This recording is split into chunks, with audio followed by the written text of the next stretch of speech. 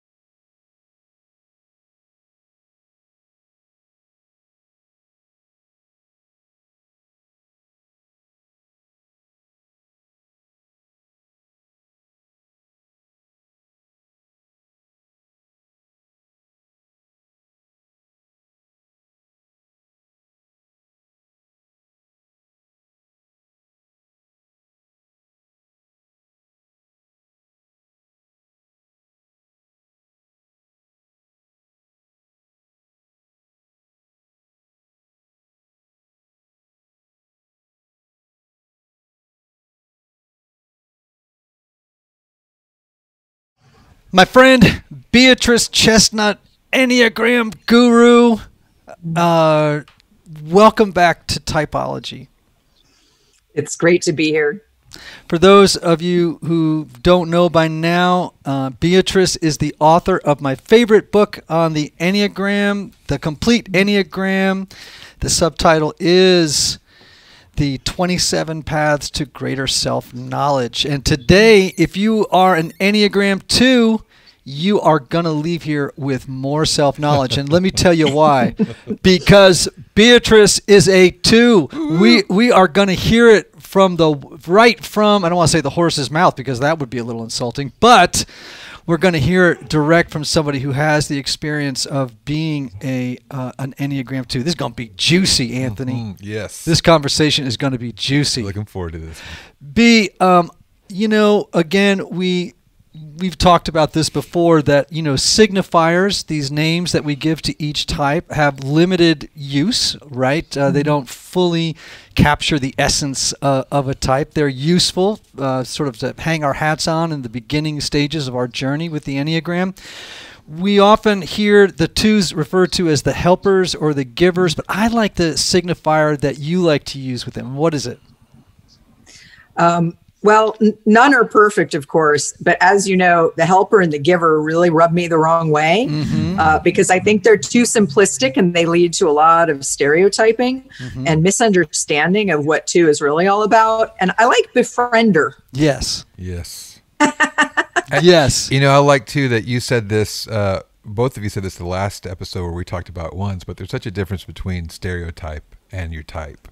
Uh, I think it's important to mention. I mean, people tend to just run with that stereotype, right? Yes. And where it tends to happen in my experiences is they isolate one subtype Yes. and tend to, to uh, say it's emblematic of the whole. That's right, yeah. And it's not, right? Right. And we're going to see that as we talk about twos, right? Uh, I think that uh, Befriender is great too because the, as, a, as a signifier because twos are the most interpersonal number on the enneagram right? They they go to bed at night thinking about relationships and they wake up in the morning thinking about relationships and they break at lunch to think about relationships and uh, and they and who's better at making friends than a two who nobody Nobody. Nobody can make a friend like a two. All right, let's move on to maybe a couple of things that we can say in general about all twos. And B, I'm going to rely on you a lot in this episode because you you are a two. I have some insights about it, but why don't you start us off? What can we say about twos in general? In general, I would say one major thing is they are other referencing. That means their attention is really focused outside themselves Great. uh, on what's going on with other people, how other people are feeling, and what they need, and what's happening out there, as opposed to uh, inside ourselves primarily. So there's often a blind spot around uh, what we need or how we feel. Uh, and so I'd say that's kind of primary. You know we talk about passion a lot here and um, of course all the all twos share a passion in common which is pride. You know in my experience uh, people don't pay enough attention to passion. You know what i mean? Like they, they tend to go off on characteristic traits things like that. I cannot begin to tell you folks how important it is for you to know your passion, even to the point that you understand it somatically, where you can actually, where does it live in your body, so yeah. that you can actually know when, okay, here comes that feeling. And perhaps for a two, it's like, here comes that feeling, that compulsive need to move toward the other, to uh, to charm, to meet their needs, to uh, to befriend, and sometimes when we're unconscious, in a way that is calculated and strategic.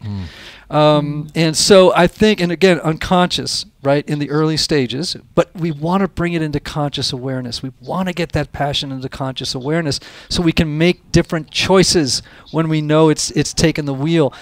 Do you, in your experience, B have you ever, uh, you know, I as as a four, I know when envy's coming up. Like I, I know where it is in my body. I know the feeling in my throat. I know, mm. I know. Okay, here it comes. Uh, you know, do I want to, do I want to keep going here? Because the mm. last time I swung at this pitch, I missed. You know, mm. I want to make sure that I don't take a swing this time. I- I think for a lot of, I think for a lot of twos, that I, when you tell them that pride is their is their passion, they kind of go, I don't get it. Like it, it, it just seems like it's hard for twos to make the connection. Is that was that your experience? Yes, it pride is a tough one to understand, uh, especially for twos at first. But I think in, in general, I think it's hard for people to get what pride is and how it operates in twos. Elaborate on that, and we'll do more as we go along. But give us an introduction on that. So, pride is this need to be important, uh, and it's a kind of unconscious self elevation. It's a kind of puffing up. It's a kind of needing to be better or more or than you are. Uh, now, the tricky thing about pride is there's an inflation aspect to it. It's like a puffing up of the chest. It's like ev- no one can do it without me. Like everybody needs me and everybody likes me. And if they, you know, if they don't like me, there must be something wrong with them. Um, but there's also the deflation part of it. And when I first learned my type in 1990, um, I was surprised by pride. I didn't get it. And I think most twos don't get it at first. And I didn't get it because I, I thought, well, elevation, pride, arrogance, that seems like you're thinking highly of yourself, that you're thinking a lot of positive things about yourself. When really, you know, and I was in my early 20s at that point, really, I was very painfully aware of always focusing on how people didn't like me enough and I wasn't mm. good enough and all of my flaws uh, that that I was really focused on because I needed to be what I thought other people would like, and I was always falling short. Mm. Uh, and so I didn't get the pride thing, but I think the the inflation part is often much less conscious, mm. uh, much less uh, in conscious awareness for twos, uh, and they're more aware of the deflation part or when they get hurt or feel insulted or unappreciated uh, and, but they're it's harder to see the part that that is all about like i can meet everybody's needs. I don't have any needs. You know that's pride. You know the part right. that says like every you know i can make anyone like me. Like mm-hmm. who wouldn't like me? Like that assumption that everyone will like you or that you can make everyone like you or that you can you can control other people's emotional experience. Mm. Um, that's pride. That's being more than you are. Because, and this is why when twos really get pride and really start working against it, uh, at first it's hard, of course, but there's a relief and a freedom that comes from like, oh, you mean everyone doesn't have to like me? You mean I don't have to be there for everyone? I don't have to be the one that's making everything happen or supporting everyone or uh, earning my earning being loved by being all things to all people. Mm. Mm-hmm. I'm really glad that you said that. Uh, you know, it's hard for twos at first to recognize pride as their uh, as their passion. Um, in that it's hard for them to swallow it, right? And and in part that mm-hmm. I think is also mm-hmm. because I think twos are perhaps on the Enneagram one of those numbers that's most criticism averse. They take criticism really hard, mm. you know? Uh, and so I'm going to tell you something right here at the outset, twos. Oftentimes people say to me at workshops, um, the Enneagram just feels so negative it just feels like all it's doing is shining a light on all that's not right about me. Mm-hmm. Why is that the case? You know, why isn't it more like Strengths Finder? I want to leave here feeling really good about myself. And I, I want to always remind people that this is part of the gift of the Enneagram, that what it does is it reveals that which um, has been an impediment toward our becoming the highest expression of who we are. And until we look at the shadow aspect of our personality type and begin to work through and reverse its momentum in our life, mm-hmm. um, until we do that, we're not going to realize happiness mm-hmm. and we're not going to realize a feeling of peace and contentment in the world, and we're not going to realize. Uh, our potential and until but but guess what the good news is once you can begin to observe these patterns in yourself in a in a non-evaluative, non-critical way, but just to to begin to identify with compassion. Oh, this is just part of what my my habitual, predictable patterns have been, mm. and I can do something about it.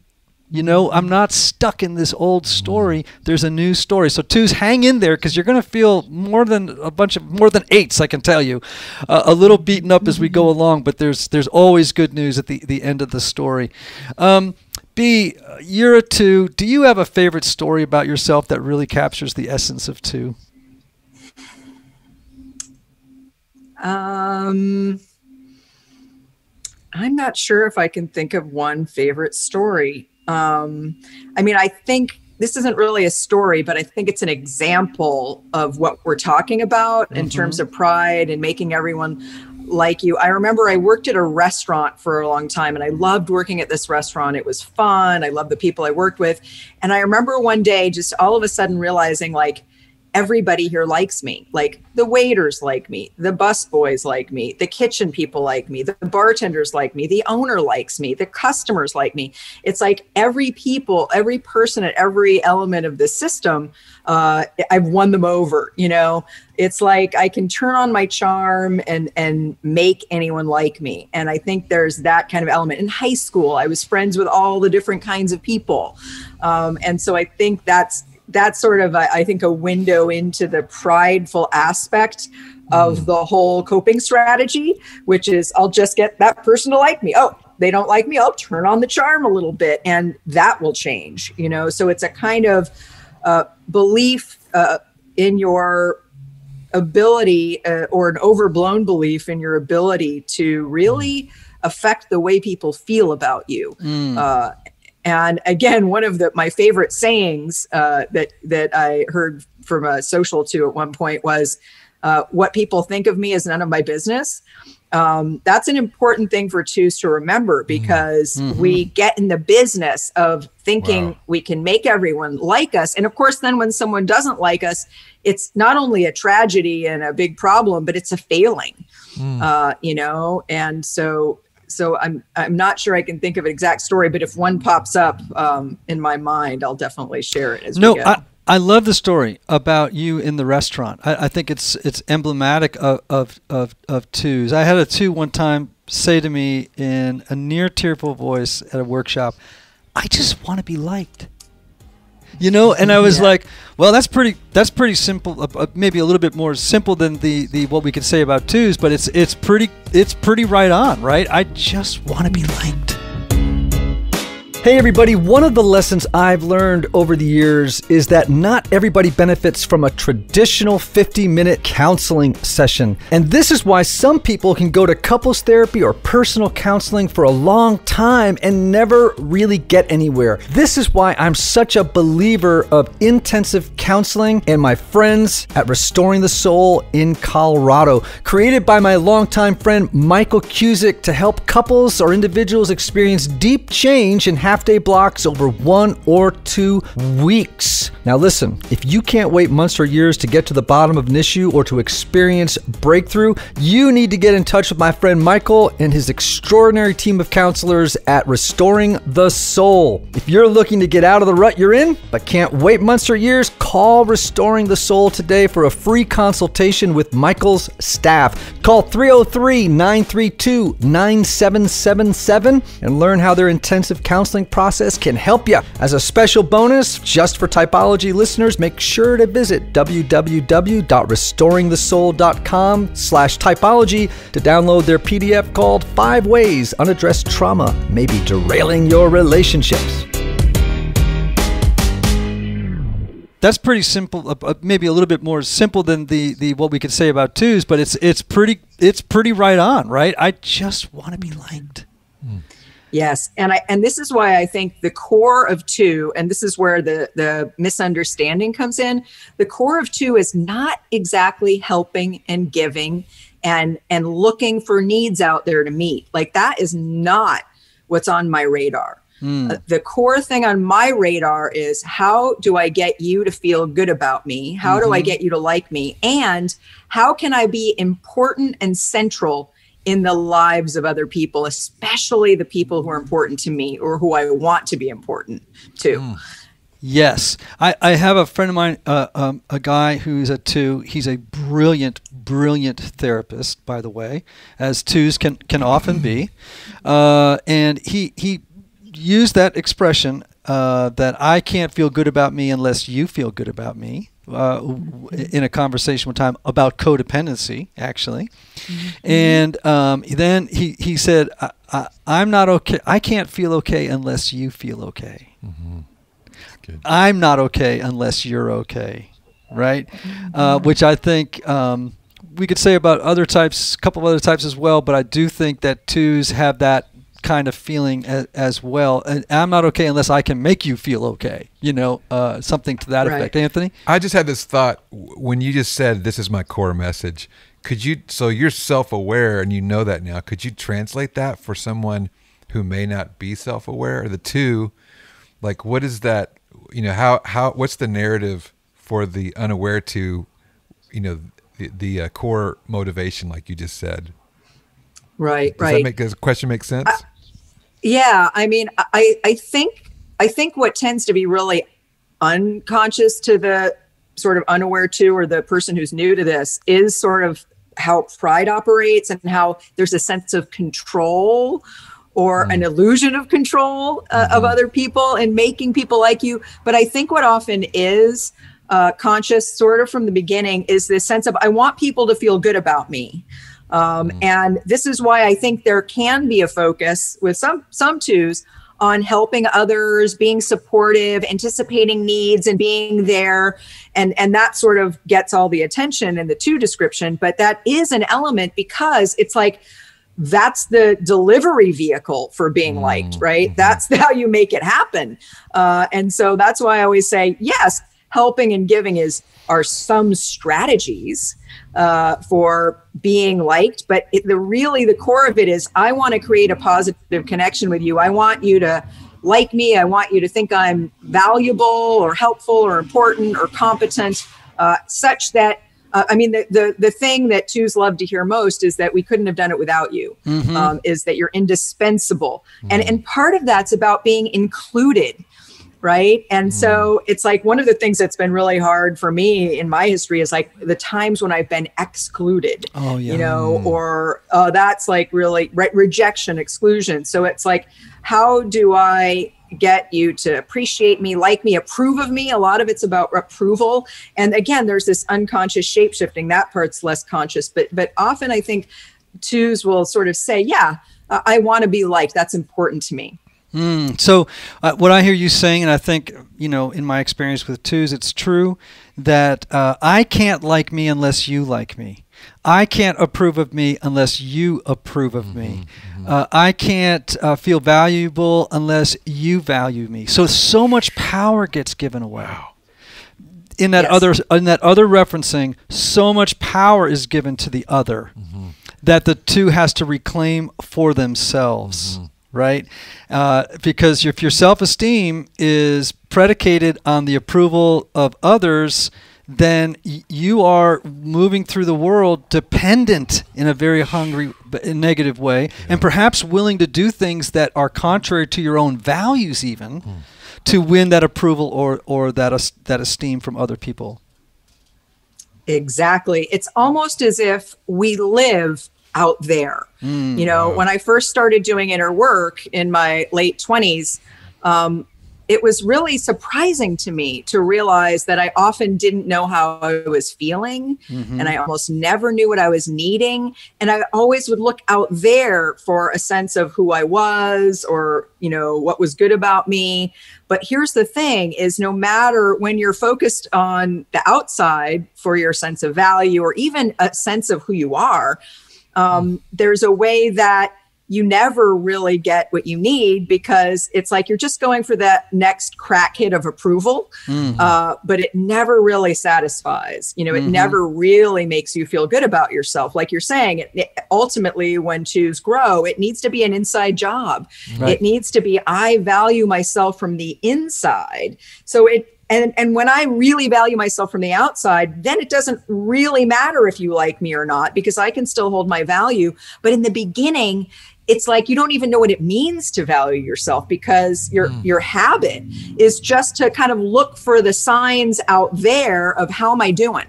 You know, like what do you think of me? What do you think? Oh, you're you're smiling at me. You're you just gave me a compliment, so I'm doing okay. Like mm. I can feel a basic sense of security and well-being in the world if I'm okay with you. Mm. Mm. and you can uh, realize a sense of identity apart from the input of, of other people, right? I mean, I think twos, threes, and fours all wrestle with uh, I- issues around identity. Who would I be if I did not have your approval? Who, who would I be if you did not validate me with uh, your esteem of, of who I am, etc.? And so, this is part of the twos realizing their own identity apart from gleaning it through relationship to other people.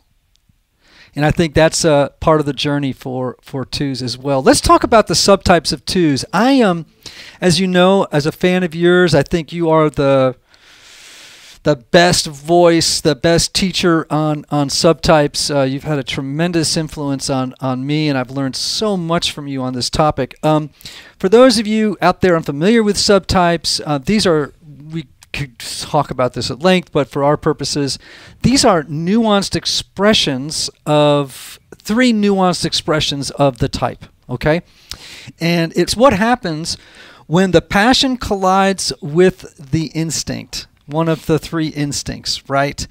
Uh, and it really helps us understand in many ways, for example, why two people of the same type can look so different from each other. And we're going to talk about three different expressions of twos, and I promise you, you are going to B surprised. You are going to be surprised at the different ways mm. that two express themselves. I want to start with, and be one of these days, let's do a show on instincts together um, to, yeah. to, to flesh this out for people. But I want to talk about the uh, the self preservation two. I think you know something about self preservation twos, don't you? Yes, I do. Yeah, this is my subtype. So, yeah, I, have lived it. And um, yeah, so this is the one of the 27 I really know from the inside. Yes, indeed. So, this is the counter type. Uh, just briefly yeah. tell us what the counter type is, and then let's jump into what the what self-pres twos are like and what their work is. So the counter type is the idea that for each of the nine types, there are three subtypes based on the three instinctual drives, these three instinctual drives. But for each of these groups of three, there's two that kind of flow with the passion or with the type structure, with the way the type expresses itself, and one that's kind of going in the opposite direction. Uh, so it's almost like the heart is going in one way, the passion, and the instinct is going in the other direction. Mm-hmm. So it's like it's like something's kind of oppositional going yes. on there, and and this is why the counter type ends up looking like a not very clear version of that type. So mm-hmm. counter types, when people don't know the subtypes, it's hard because people who are counter types get accused all the time of not, not having their type right or not knowing who they are. Uh, and of course, the subtypes are important in part because some types you can't be described just by what's often commonly known about the nine types alone. Mm-hmm. Exactly. Okay, so self-pres twos. Let, let's describe those a little bit together. And it's funny, even when I start to talk about uh, the two subtypes, I notice I'm a little bit afraid because I know I'm going to injure the pride of the twos who are listening. Right. It's hard to hear this stuff. And I, and I will say that when I first learned that I was a self preservation two, the insight, the, the knowing of this did not come easily. So mm. I guess I might want to say, if you're not mm. relating to this or thinking this isn't you, that very first thought I heard, I had when Claudio Naranjo described the self preservation two is lit- it was like a thought bubble was above my head that said, oh, that's not me.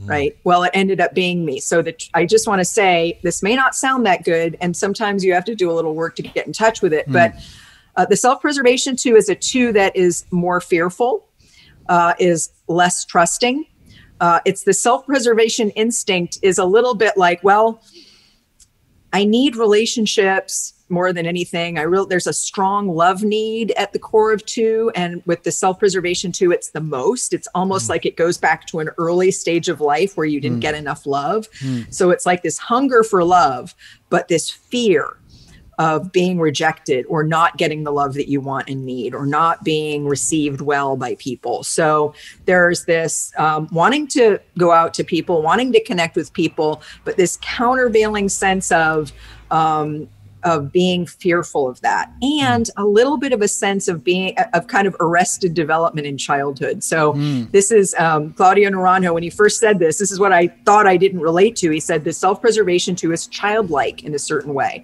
there's a youthfulness uh, but it's a little bit like a strategy of staying young and cute to get people to like you. So yes. it's a little bit of like, I'm going to be the young, cute, uh, helpless, person who calls people to uh, to me to help me, to support me, to rescue me, to like me, to think I'm cute, as a strategy of uh, you know being loved or liked. Hey, Anthony, you know my kids are grown, but you still have a couple at home, right? I right? still have a few at home. Well, let me tell you about this company who makes engaging products for kids of all ages. All right. KiwiCo creates super cool hands on projects for kids of all ages designed to make learning about STEAM, that's an acronym, by the way, for science, technology, engineering, art, and math, designed to make learning fun. Ooh, I love this. Each crate is designed by experts and tested by kids, offering fun opportunities to learn and explore at home. Hmm. KiwiCo covers a wide range of subjects from science to art to geography, and each line caters to different age Ooh, I groups. like this. For instance, my assistant has two young boys, seven and nine, and they received a science crate which included all the materials and learning resources to build a mechanical model of the sun, the earth, and moon.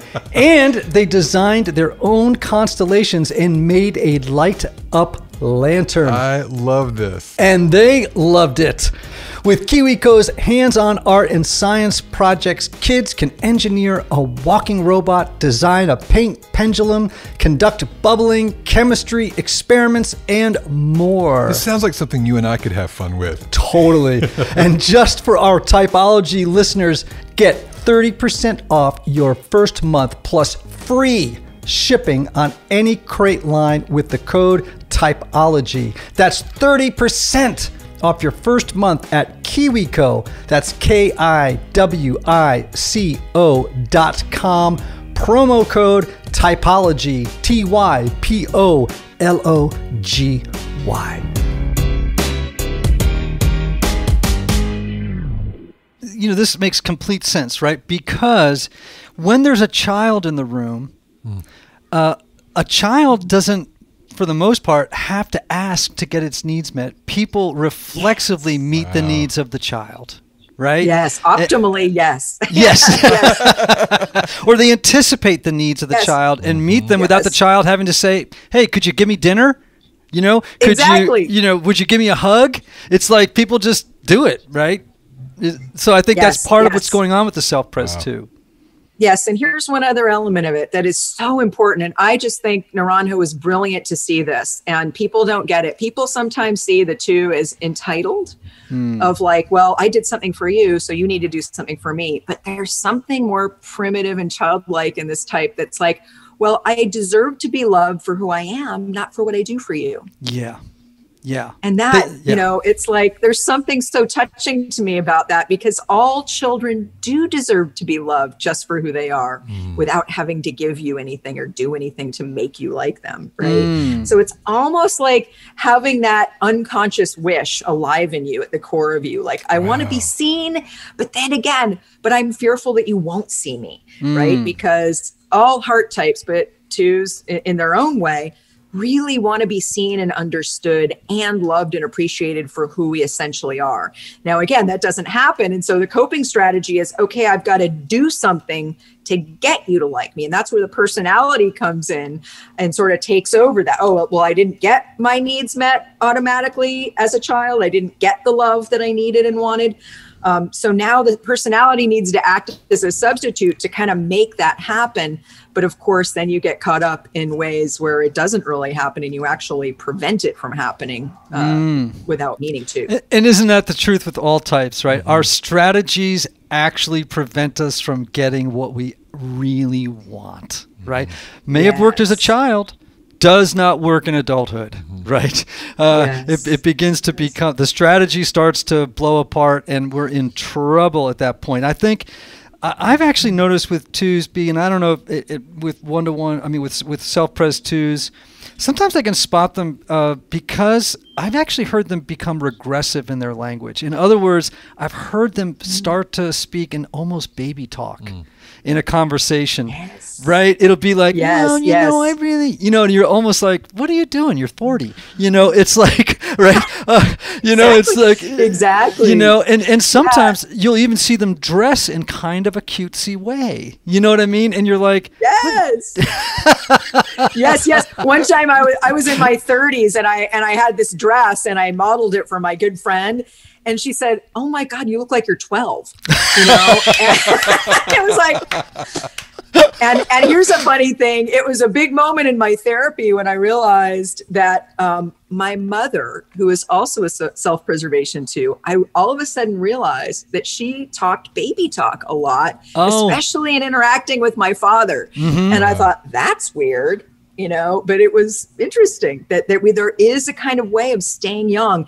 And again, this can be very unconscious. Oh, yeah. So it take mm-hmm. it takes some work to see this. It did for me uh, because, for instance, self-preservation twos can also create unconscious dependencies on Yes. others while simultaneously thinking they're completely independent. Mm. Like I need you to approve of me. I need you to support me. I need you to, you know, do different things for me in order for me to feel okay.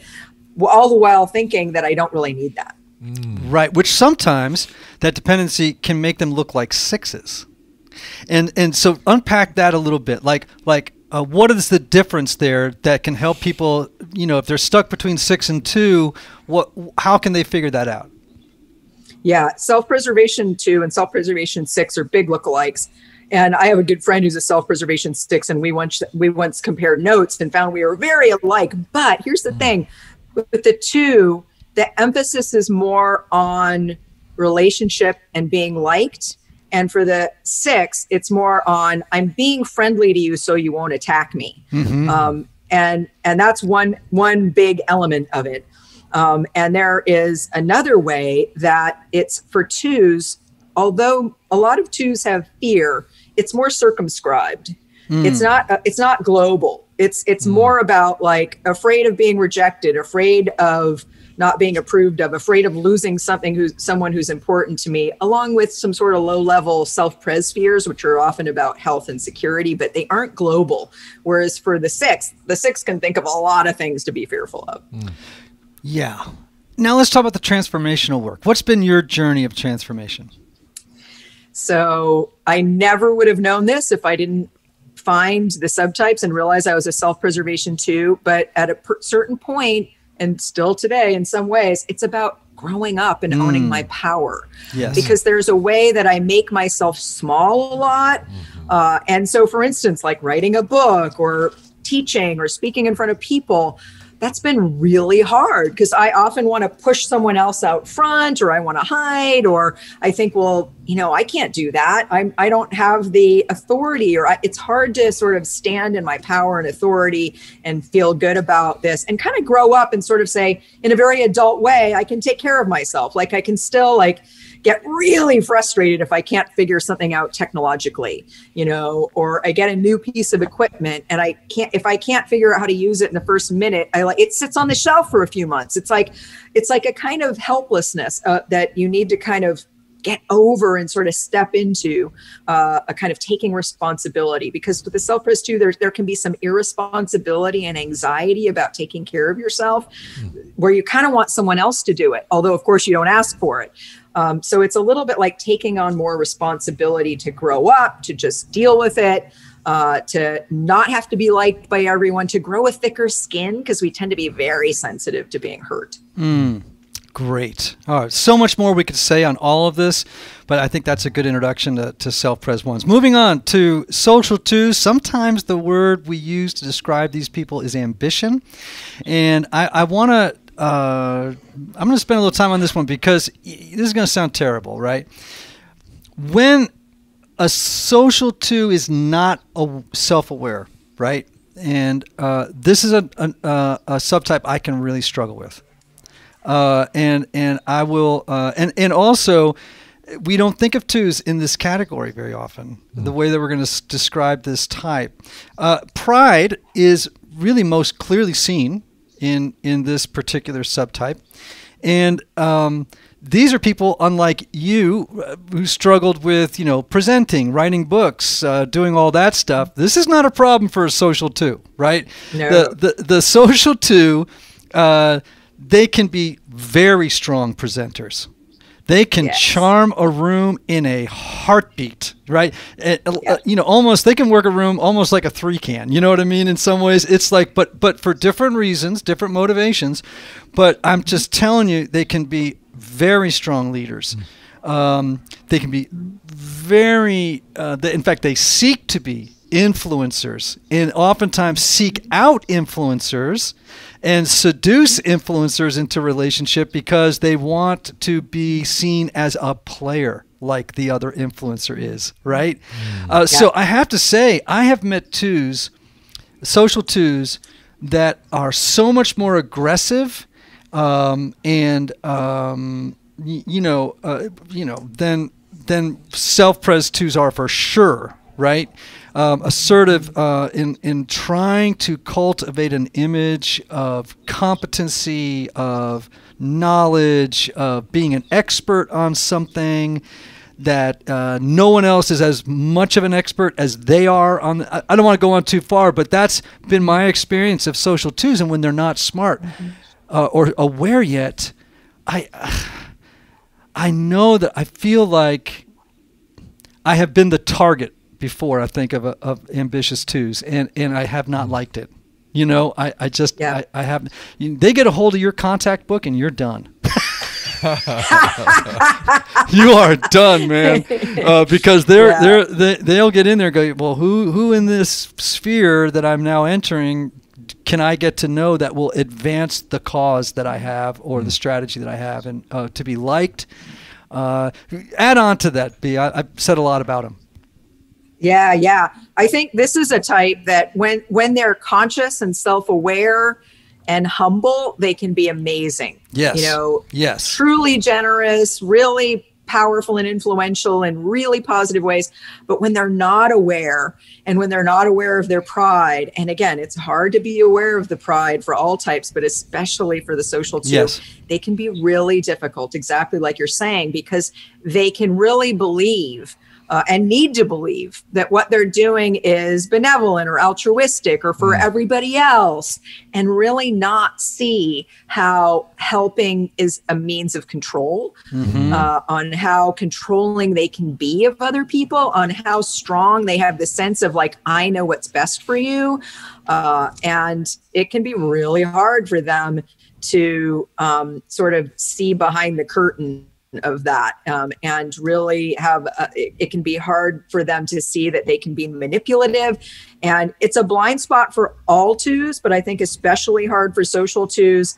And and you're absolutely right they can be tough when they don't see it because they're acting from this sort of need to be involved or in control uh, in ways that um, that, that can be not so fun to be on the receiving end of when they're not aware of it. Yeah, and I think I love that the control, the, the emphasis you just put on control, and I'm going to add another word into that needs emphasis here is power.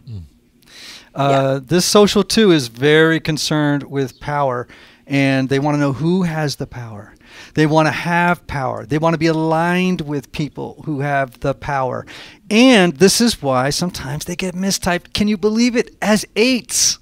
Right? I mean, Yes, they. yes, yes, I mean, that's you would never imagine a two if you just run with the basic sort Yeah. of description of twos. Right. You would never put them in a category of looking like an eight, but they sure can be, right? B.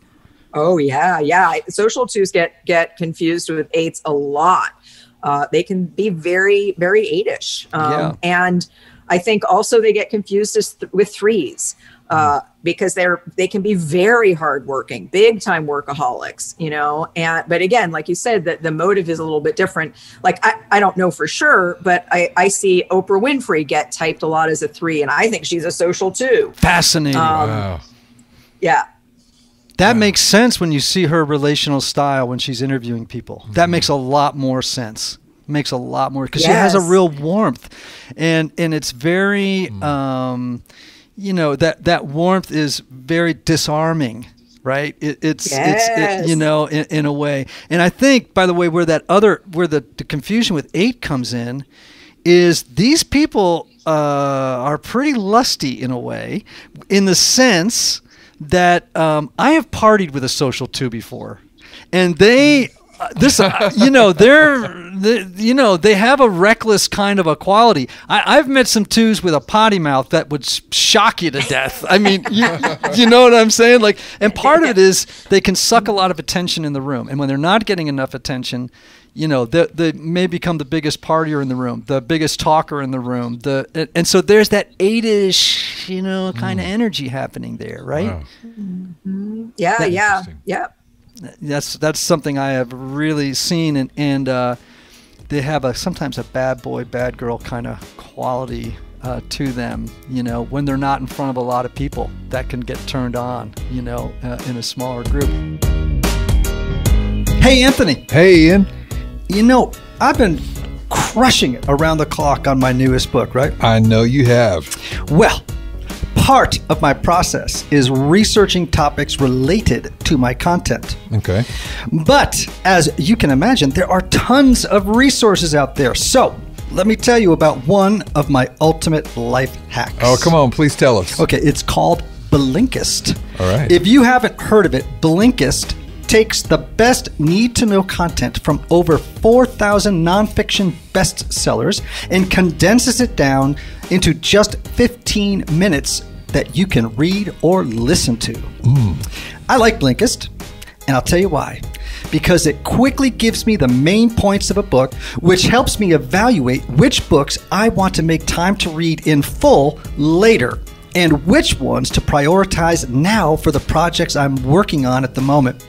And since Blinkist works on my phone, my tablet, or a web browser, I use it anywhere, whether I'm traveling, making breakfast, working out, man, you name it. I like it. Mm-hmm. I've listened to, and I really highly recommend, Daniel Nettle's book, Personality, and Michelle Obama's book, Becoming. I love both of them. You can even read or listen to the key takeaways from the road back to you by yours truly. Oh, yeah. Mm-hmm. I like that with Blinkist, you get unlimited access to read or listen to a massive library of condensed nonfiction books.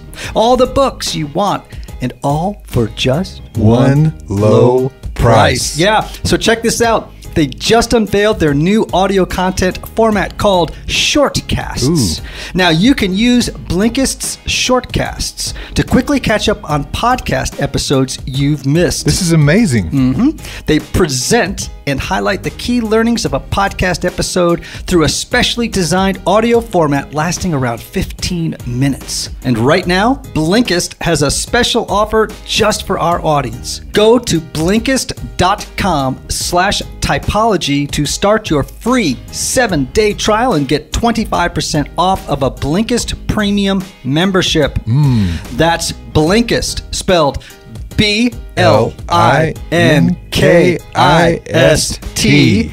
Blinkist.com slash T Y P O L O G Y to get 25% off and a seven day free trial. Blinkist.com slash typology. All right, transformational work for the social twos. What do you think?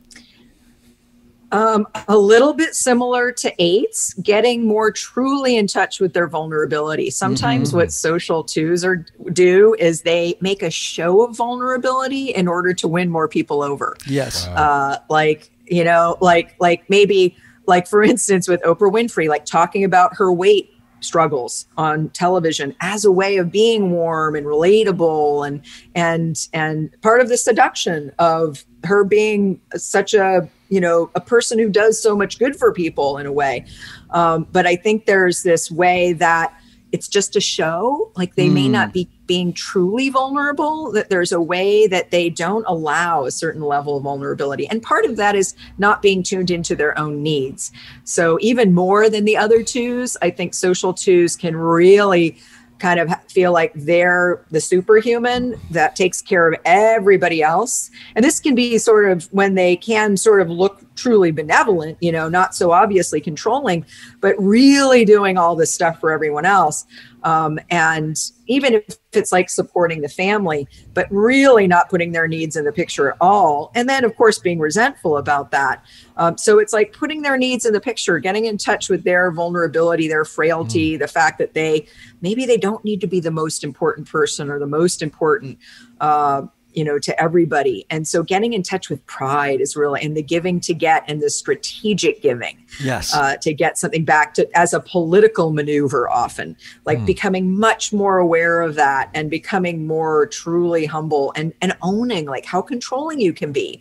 Like i've met some be- lovely social twos and the minute i met them i was so like endeared to them because they're like oh yes i can be so controlling Mm. You know, hmm. when they own it, when they're humble enough, and again, humility is the the higher virtue to pride, which I think sometimes is a good way to get at what pride is, is like mm. through what humility is.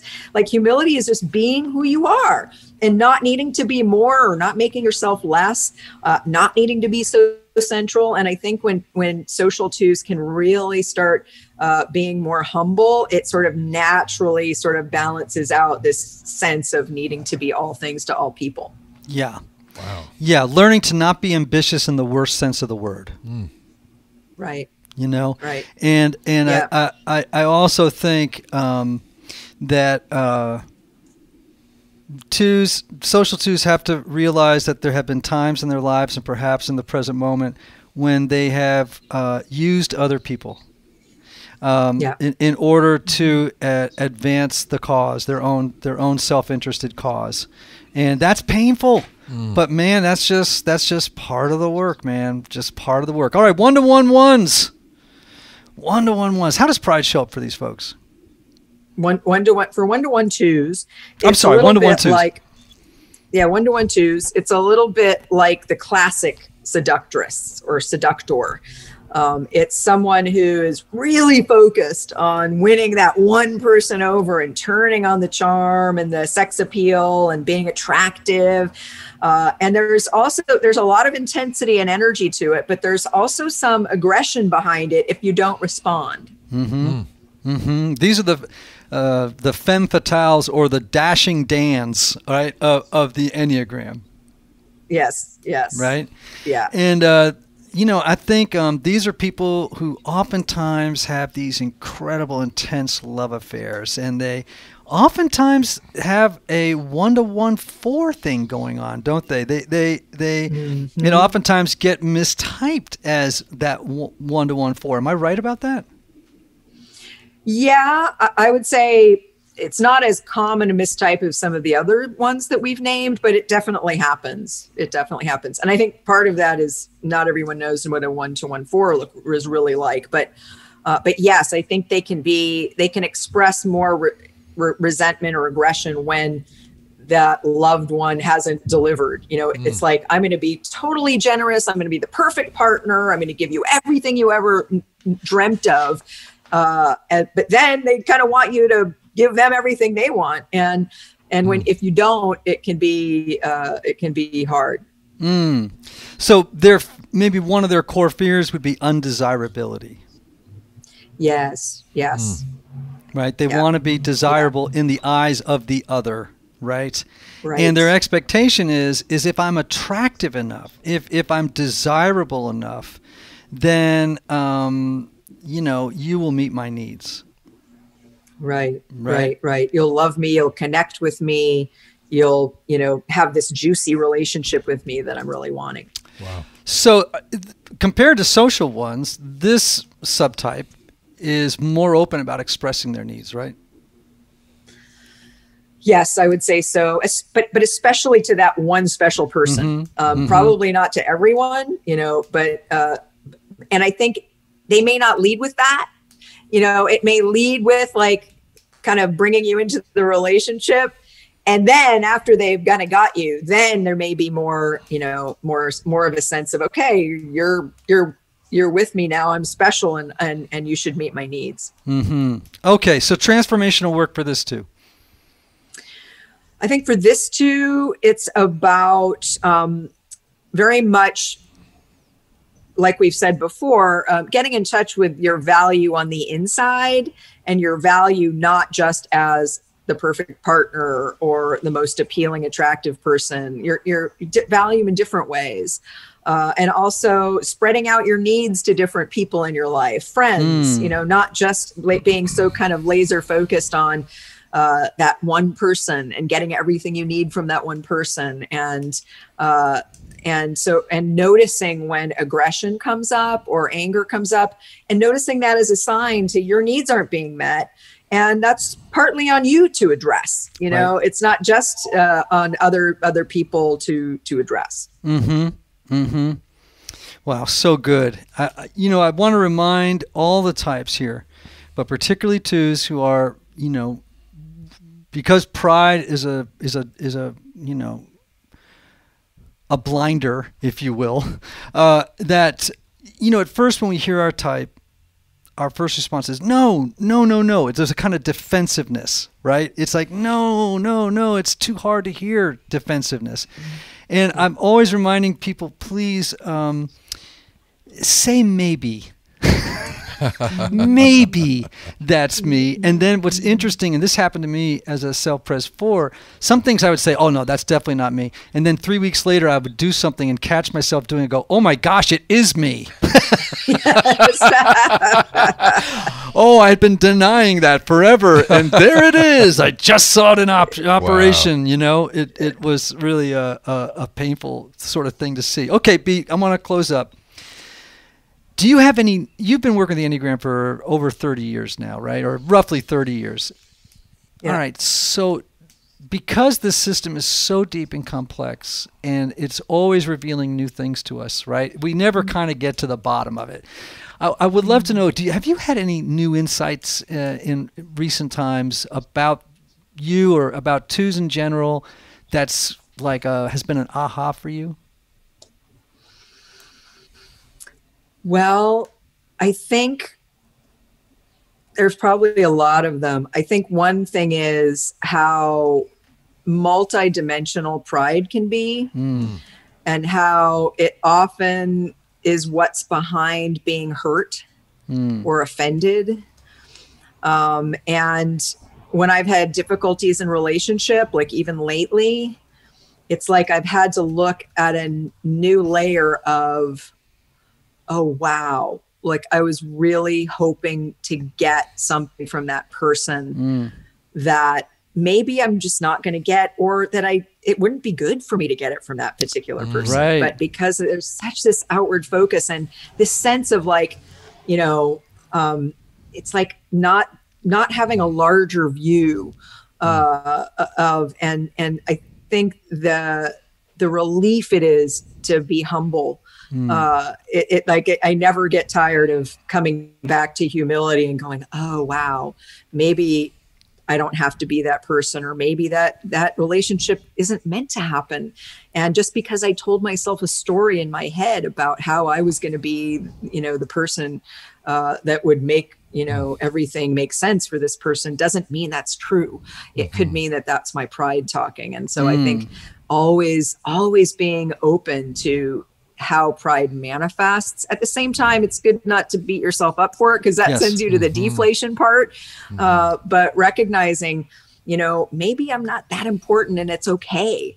You know, maybe I, and also on the other side of it, maybe I can assert myself and what I need and what mm-hmm. I want and push back on other people who aren't okay with that with confidence. That's mm-hmm. another side of humility of saying, no, I do have this need and mm-hmm. it's okay. And if you don't like it, that's maybe your problem. Right. And I think twos have a hard time doing that because it can be like, oh, well, the answer is just to continue to make myself bad or small. Or, and that's not the answer either. Uh, right. Uh, I always say humility is not being more than you are or less than you are, it's knowing who you are and standing in that mm. unapologetically. Mm. Um, so I think I'm always learning new dimensions of that. And I'm also always learning how I think there are different tasks for all of us. At different stages of the journey. Hmm. And I think it's important to think in those terms. Like if you're new to the Enneagram, if you're new to discovering that you're a two, hmm. you know, the tasks are that, you know, focus on some small steps that are mm-hmm. just about seeing the pride in what you do and not criticizing yourself for right. it and right. not needing to be completely free of pride or completely humble because that's that's a process, you know, but later in the journey, if you're not aware of how controlling you can be, then you need to confront yourself a little bit more. Mm. It's like we hmm. need to sort of be gentle with the ego at first, but later on we need to be more a little more confrontive. You know, right. we need to be like, you know what? You really are doing that, and you need to find ways for your own good uh, to work your way out of that. You said that humility is the lens by which we can more clearly identify pride. Could you give a couple of action steps toward humility? Sure. I think, and, and this is especially for twos, but maybe for anyone, I think one thing is being more anonymous in the things you do, mm. like not needing to take the credit, mm. you know, doing things with nobody knowing that you did it. Mm. You know, that can be a good one. Another thing is really ask having a practice of asking, like, is this mine to do? You know, um, another thing is um, really being able to ask yourself, what am I needing? How am I feeling? And being with any embarrassment or humil- humiliation that comes to you, mm. like any uncomfortable situation where you felt like you looked bad or you got rejected, it's like dwell on that in a positive way because that is when you're feeling vulnerable wow. or humiliated or embarrassed or you are in touch humility. Mm. Yeah, you know, it's so funny, and we'll we'll close on this. I I in in my own life, you know, and this directly correlates to what you're saying. Just when I think I can nail my passion of envy as a four and see it, mm. the dang thing shows mm. up in a in a new you know, uh, outfit, yes. right? It shows up in, in yes. some new iteration. It's like, oh my gosh, now it's wearing a mustache and a beard. You're wearing a new costume. Wait a minute, you know. I love it. I so, love the, it. The glasses that, and the that nose. That is fantastic. I can't tell you what how wise that is because mm. the passion, by definition, is ever present if we're not enlightened. Mm. Um, and I love the way you put that. It shows up in a different outfit. Like just when you see, oh, when I do this kind of thing, that's how pride acts oh, wait a minute. Oh, it snuck in through the back door and it was wearing a different hat. You know, oh, th- this time it was dressed up as a kindly old woman. You know, I mean, that's great. absolutely absolutely well typology tribe i hope you learned if you're a two that you learned so much more about yourself today i hope if you didn't know your subtype that you identified with one of those mm. i hope that you did not listen with a defensive posture but with an open heart if you didn't go back and listen to the episode and, and see if you can listen mm. with a non-evaluative critical spirit towards yourself but to say okay well which one of these is my game okay? Which one's my mm. game you know? And and be able to work with it in a kind and and self-compassionate way. Uh, as i like to do anthony now yes. instead of saying be yourself everybody else is already taken i close with this actually buddhist benediction which is may you have love may you have joy may you have peace may you have healing may you have rest. Until next time